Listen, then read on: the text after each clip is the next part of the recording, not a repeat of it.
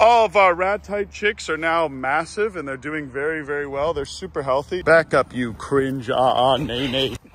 nay, nay bird. Like, oh, cringe, nay, bird.